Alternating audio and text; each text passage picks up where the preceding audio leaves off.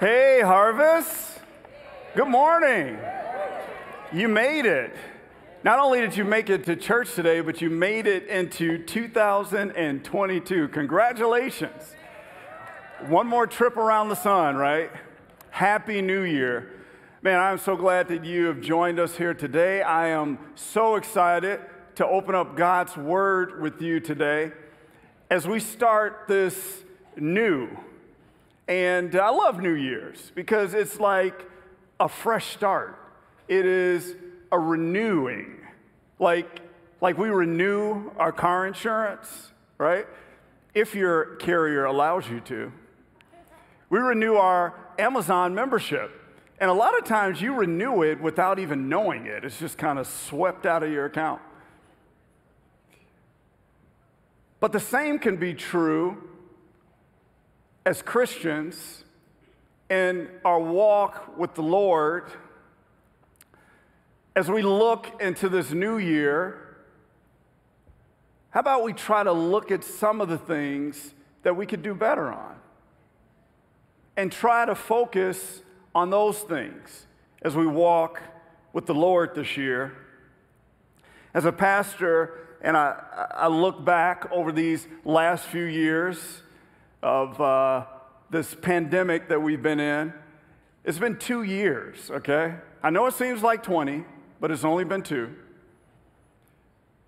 I could see some of the areas where Christians have lost their focus. And it is my hope today that this message will be received as a call to deeper worship, to a greater prayer life, to a greater walk with the Lord. So, will you meet me today in Colossians chapter 3, verses 1 through 4? And if you're joining us online today, will you also meet us there? Colossians chapter 3, verses 1 through 4. And while you head over there, I'll just give you some context of this book. This book is written by the Apostle Paul, and uh, he wrote it to a group of people that he never met, to a church community that he did not start. In fact, this church community was started by a co laborer in Christ with Paul by the name of Epaphras. And Epaphras was actually from the city of Colossae. And he would visit Paul in prison and he would update Paul on how the Colossians were doing overall. He would also mention some of the cultural pressures that they were facing that were causing them to turn from Jesus. Things like false teachings and etc. So Paul wrote this letter to the Colossians to address the issues that Epaphras had raised to him and Paul's hope was to challenge them in a new way of life, to challenge them to plant roots deep in Christ, encouraging them in hope and in love. And it's cool the way he opens the book.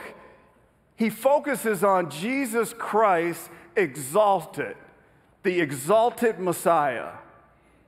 And then he gets into addressing the pressures that were tempting the Colossians to turn away from Jesus. And then, as we arrive here in chapter 3, he explores the new way of life that Jesus' resurrection opened up for them.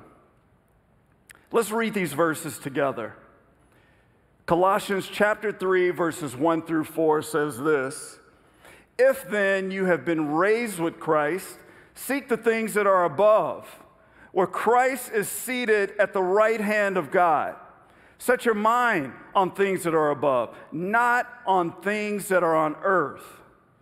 For you have died, and your life is hidden with Christ in God. When Christ, who is your life, appears, then you also will appear with him in glory. The title to today's message is A Renewed Focus on Eternity. A renewed focus on eternity. Let's pray. Lord, we thank you for this opportunity to come together and worship you in spirit and in truth. Lord, would you allow the words that are spoken today to penetrate hearts, change us from the inside out?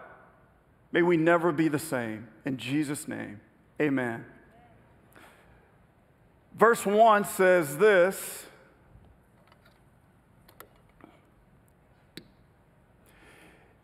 If then you have been raised with Christ, seek the things that are above, where Christ is seated at the right hand of God. This word here, if, doesn't suggest uncertainty, but it more or less means since you have been raised with Christ, seek the things that are above. Paul is referencing here something that he said earlier in Colossians chapter 2, verse 12, where he says, Having been buried with him in baptism, in which you were also raised with him through faith in the powerful working of God who raised him from the dead. So, in other words, once you surrendered your life to Christ, you were considered raised with him. What a great picture, right? What an awesome picture to be raised with the invisible God, the firstborn over all creation, the author and sustainer of all things, fully God and fully man, the King of kings and Lord of lords. You have been raised with him. And not only have you been raised with him, but you've been given fullness in him. Why? Because he's enough, right? So Paul is saying, since you've been raised with him, seek the things that are above. This word seek here means a continuous, ongoing effort. It means all the days of your life until your dying day we are to be seeking the things that are above persistently. Many of us, I'm sure we've all heard of Albert Einstein, right? Albert Einstein, the smartest dude who ever walked this planet. Look at him. A face that only a mother can love. Look at that. But it looks like he's been through some stuff, right? But do you, do you know that Albert Einstein was dismissed from school because they said that he lacked interest in his studies? He next failed to pass an exam to enter another school in Zurich, so he became a tutor to boys at a boarding school, but then was fired from that job. But he persistent, persisted over and over again. And we know how that ended, right? He won a Nobel Prize for physics. Like, what? He went on to do great things, but it was through persevering that he was able to do this. Or let's consider the story of Lou Gehrig for you sports fans. Lou Gehrig was an awkward rookie. You may know the name from Lou Gehrig's disease, which is also known as ALS, but he was a baseball player. And he was observed by Ty Cobb one day. And Ty Cobb said, Look at those piano legs. He'll never amount to anything. But do you know that he holds the all time record for playing in 2,130 consecutive games? And he's known as the Iron Man of baseball. Such persistence, focused on earthly rewards, as great as they are, cannot hold a candle to what is above. The seeking ought to direct our conversations. It should direct our friendships, our studies, and even our play. And when it does, it will enhance our fullness in Christ. Our focus should be seeking Christ who is seated at the right hand of God, it says. This is a picture of power, it's a picture of authority, but it's also a picture of proximity to the God of the universe. So he's in the presence of God. He has favor with God. He has the power of the Father. And He's doing something else for us there too. And we find it in Romans chapter 8. This is a power packed chapter. I wish I can read the whole thing. So I just picked these three verses here that'll get us to the point that I want to make here. It says this Romans chapter 8, verses 31 through 34. What then shall we say to these things? If God is for us, who can be against us? He who did not spare his own son, but gave him up for us all, how will he not also with him graciously give us all things? Who shall bring a charge against God's elect? It is God who justifies. Who then is to condemn? The NIV version answers that question and it says, No one. Who is it to who is to condemn? Jesus Christ is the one who died, but more than that, who is raised, who is at the right hand of God, and who is indeed er, interceding for us. That's what he's doing. He's interceding for us. What a powerful picture there. He's the source. Jesus is our source. And not only does he act as our defense attorney, right, for our mistakes, but he also bore the punishment for those mistakes as well. Let us not forget that. So, why do we think that we always have to try to fix everything all the time? You know, some people are just consumed with trying to fix everything, right? You ever meet that person that's like, I'm gonna fix that. We'll see about that. The only thing that we should be trying to fix is ourselves. We should be working out our own salvation with fear and trembling and not trying to fix every problem that we think needs to be fixed. Because it's not up to us, because God is in control. And his plan is better than we can ask or think, right? Paul wants us to set our hearts on that. But he not only wants us to set our hearts on that, he wants, to, he wants us to also set our minds on that. And he says that here in verse 2. He says, Set your mind on things that are above, not on things that are on earth. Why is that so hard for us to do? I'll tell you why. Because we see everything that's on earth. We are living here on earth. But the reason why Paul wants us to set our minds on things above is because sin starts in the mind. And since we're so great at it and we have a sin problem, he says, focus your mind on things above so you won't be distracted by the things that are here on this earth that will cause you to sin. You know, sin never appear, appears irresistible until you try to break free from it. You ever notice that? Like, as soon as you say, I'm no longer going to do this particular thing, it seems like all of a sudden the gates open and you're just obliviate. You're just tempted even more and more and more. But in order for us to break free from sin, we have to get vertical. And that's what Paul is saying here. And we get vertical by asking God to give us his perspective on the people, on the events, on the circumstances that claim our time and deplete our resources and challenge our attitudes. Our hearts and mind tells much about what holds the throne in our lives, right? Our thought life Everything that we think about, if we're thinking about something all the time, that is the thing that is on the throne. And that's why Paul is saying, put your minds on things above, because God should be on the throne in our lives. So, the question or the challenge that I want to ask us today for this new year is Is your heart and mind set on Jesus?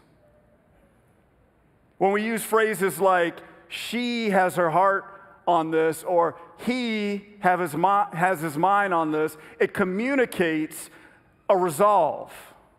It communicates determination. It communicates a focus, a commitment to that thing. And it also suggests that it should be followed by action. Hearts and minds on things above. Our feet are here on this earth, right? But Paul is saying, put your heart and your mind on things above. And this echoes what Jesus taught on the Sermon on the Mount in Matthew chapter 6, verses 19 through 21. He says this Do not lay up for yourself treasures on earth where moth and rust destroy and where thieves break in and steal, but lay up for yourselves treasures in heaven where neither moth nor rust destroys, and where thieves do not break in and steal. For where your treasure, where, for where your treasure is, there your heart will be also. Our heart on things above. In other words, as followers of Christ, we should not be enslaved to earthly things, is the point here.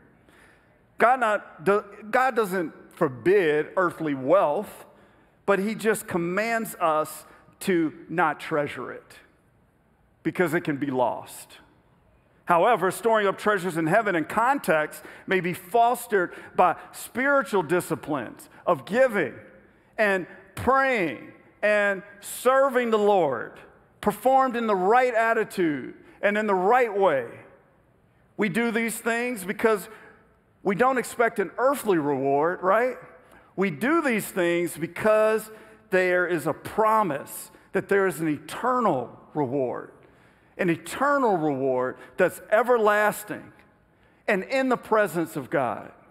Paul is saying, focus your minds and focus your hearts on the things above because this world around us looks real, it feels real, but the reality is is that there is something that is real and eternal and it will be revealed to us on that day.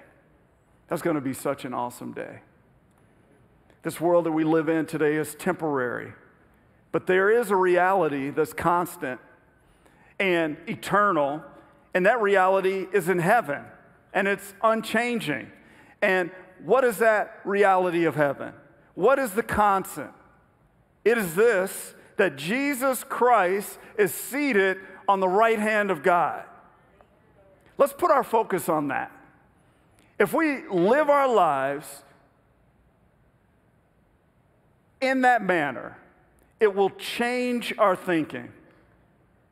It will cause us to live this life in a different way in a God honoring way. Jesus is at the right hand of God. Man, I can't stop saying that. Come on. Yes. Yeah. Let's not forget that. He can't be dethroned. There's no election in heaven, okay?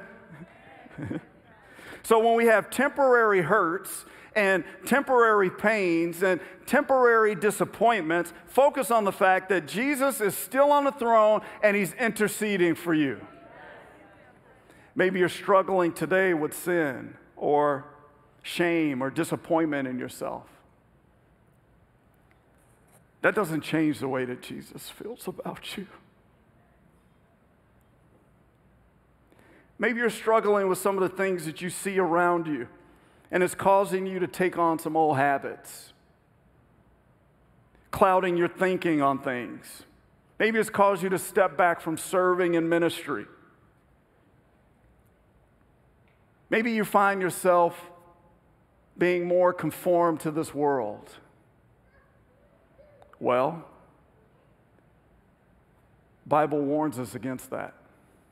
In Romans chapter 12, verse 2, and it says this do not be conformed to this world, but instead be transformed by the renewal of your mind. That by testing, testing, by testing, you may discern what is the will of God, what is good and acceptable and perfect. Man, we could use a little bit more discernment nowadays. Too many of us are getting, are, too many of us are getting distracted by what's happening around us, and we're not properly discerning the will of God. What is the will of God? Well, I'll give you three basic principles of the will of God. And some of these things we've seen happening in the world around us recently. No, let's do what's not the will of God first. What's not the will of God is division. Division. If you find yourself supporting division, like they don't know what they're doing, they're gonna wreck this thing and they're sending it down, and you're like, yes, then maybe you've conformed to this world. Not the will of God is hateful speech. If you're just piggybacking on someone spewing out hate in their mouth, and you're like, yeah, you tell them, maybe you've conformed. Not welcoming others. That's not the will of God. What is the will of God is loving one another. That's the will of God. I have an aunt who grew up in Mississippi, and uh, she's up in age now, so she's been in Mississippi when Mississippi was, you know, Mississippi. But she's a believer, and she's had awful things said to her over the years, and she never got out of character upset. And I would ask her, why how can you do that? Like, as a teenager, you're like, how come you're not saying something? And she would just say, sweetie, bless their heart. Just bless their heart. It's almost like a prayer. Like someone just got out of character with me. Lord, bless their heart. Bless their heart. God's will is to serve the needs of his church and welcoming all, no matter their race, their color, their creed, what they smell like, what they look like, what economic background they come from, what political affiliation they have. We welcome them. Christian borders are invisible unless you put walls up. And sometimes we can put walls up and not even realize it. I think it's a healthy prayer to know that if you have a problem with this or you deal with these areas in your life, just ask the Lord to help you with that. Second point focus on dying. Verse 3 says this For you have died, and your life is hidden with Christ in God. You have died, and your life is, this is present tense, meaning it's happening, it's going on right now. Your life is hidden with Christ in God. Let me explain this. Our link with Christ is in his redemptive work, which makes us inseparable from him, right? As we walk with him, as we commune with him, in this world, we experience a glimpse of heaven's delights and wonders. The thought is true that Christ is with us and within us while we're here on this earth, but it also works in the other direction too, because we're united with Christ so much so that we're seated with Him in heaven.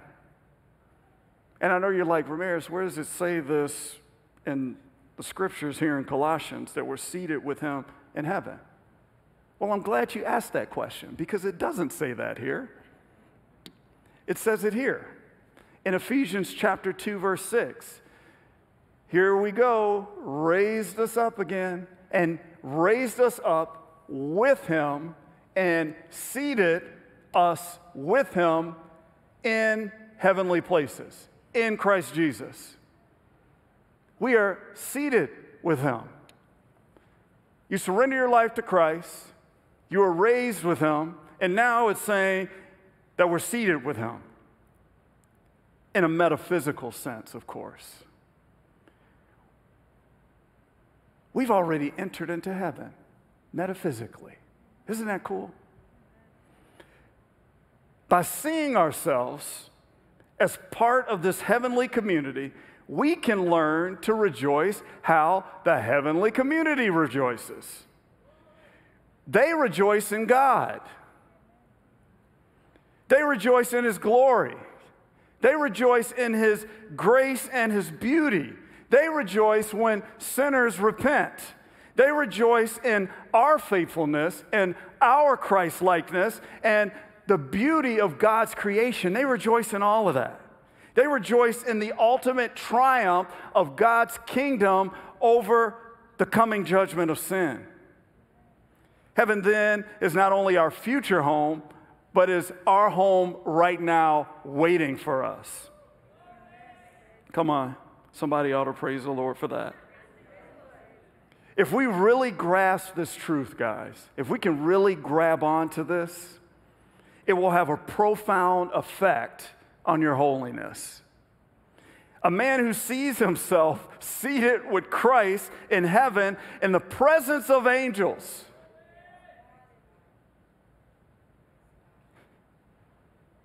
That cry, Holy, holy, holy won't spend his time getting caught up in the things of this world. It's no wonder that the enemy is so intent on keeping us from grasping our position with God. If we see ourselves in heaven with Christ, we won't, we'll be drawn into a deeper worship. We'll be drawn into a deeper relationship. Our prayer life will be different. We'll be ready to serve Him here and now. If we can focus our hearts and minds on these things, then our old nature will not be a factor, making it easier to die to our old sin nature. Now, the fullest explanation of this is here in Romans, Romans, Romans 6, verses 6 through 11, and it says this we know that our old self was crucified with him in order that the body of sin might be brought to nothing, so that we would no longer be enslaved to sin. For one who has died has been set free from sin. Now, if we have died with Christ, we believe that we will also live with him we know that Christ, being raised from the dead, will never die again. Death no longer has dominion over him. For the death he died, he died to sin for all. But the life he lives, he lives to God. So you also must consider yourselves dead to sin and alive in God in Christ Jesus. That's what I'm talking about. That's what Jesus did for us. Christ not only died for us, but because we are in Christ through the work of the Holy Spirit, we died with Christ, which means that we can have victory over our old sin nature. I heard a story about these two friends. they were party animals, all right? Like the two of them together. You know how sometimes you get a friend and they kind of feed off of each other? That's how these two were. And so they were the life of the party. And so they would always get invited to, to parties because they enhanced the experience for everyone, all right? But one day they surrendered their life to Christ and they received another invitation to, the, to a party. And this is what their RSVP read in these words We regret that we cannot attend because we recently died. when we put our focus on things that are above, we are less likely to become tripped up by the snare of sin. And this is my last point. Let's focus on things to come. And we see that here in Colossians 3, verse 4. And it says this, and then I'm done. When Christ, who is your life, appears, then you also will appear with him in glory. When Christ, who is your life, appears, then you will also appear with him in glory. When Christ, who is your life, that's a picture of eternal life. Christ is the way, the truth, and the life. But he's also a representation of eternal life. As we focus on things to come, we focused on appearing with him in glory. How exciting is that, right? Doesn't that make your day right there? I think focusing on that makes waiting so much greater. Focusing on that, we get less in the weeds on the things that are happening here on this earth. But this waiting is not a passive waiting.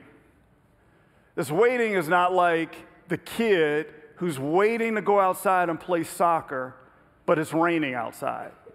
And he's just sitting on the couch waiting. Oh man, I wish it would stop raining so I can go outside and play soccer. But as long as it's raining, I'll just sit here on the couch and wait for it to stop raining. That's not the waiting of a believer in Christ. The waiting for a believer in Christ is like this it's like you're waiting for that friend to come in from out of town that you haven't seen in like five years. And he's gonna come and spend the weekend with you. And so you're getting your house ready. You're getting all of the favorite snacks in the cabinet. And you're running around, cleaning everything up, changing the bedspreads, cutting the grass, getting a new tank for the grill, getting the house in order. That's what waiting as a believer is like. You know, me and my wife, uh, when, we, when my wife was pregnant with our daughter Gabriella, it was a blessing. You just don't know. We go through the process, right? And, you know, stomach's getting bigger, you're going for ultrasounds and things of that nature. There's evidence that there's a baby in there. There's evidence. I remember some of the times sitting on the couch with my wife, and in my peripheral, I see something dart out of her stomach, and it's like, what was that? Was that just what I thought it was? And my wife's like, oh, yes, it was. But we knew that she was there. We knew that Gabriella was there. Well, we just hadn't seen her yet. And as the time got closer, we started making preparations. We started getting the nursery ready. We started putting the crib together, painting the room, so that we can be ready when the delivery came. This earth is experiencing birth pains right now. And that baby is a coming. Are you ready? Is your house in order? These are some of the things that we should be focusing on as we see the chaos happening around us. There's not room for us to say, yeah, and they shouldn't, and they shouldn't, and I'm not going to listen to what they tell me. Now's not the time for that. Now's the time to get the house in order. Now's the time to be unceasingly praying with the Lord. Prayer night this Tuesday, January 6th. I expect that room to be packed with people seeking the Lord. Now's the time to be serving more than ever before. Now's the time to be worshiping with reckless abandonment not caring what people think or say about you. We should be down at the altar during worship. We should be ready to get dirty, right? Because Jesus is coming and he's coming soon, all right? Let's get our house in order. And let's not be the follower of Christ when the, when the, when the sky cracks open and we're like, oh, wait, no, hold on one second. I'm not ready. It's too late at that point. We are to be ready before that happens. So let's live a life that is eagerly anticipating the return of Jesus Christ. Man, that's going to be an awesome day. let's not take for granted what Jesus has done for us on the cross, on Calvary. Let's put our hearts and minds on things above. Focus on the fact that Jesus Christ is at the right hand of the Father, interceding for you. No matter what you're going through, no matter what problems you face, Jesus is our source. It's Jesus who changes who we are. What he did on the cross should change who we are. And as we, as we sing this next song, I want to encourage you today.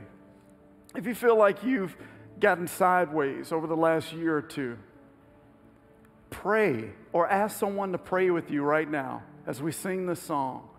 And let's get our focus back on the things that are above.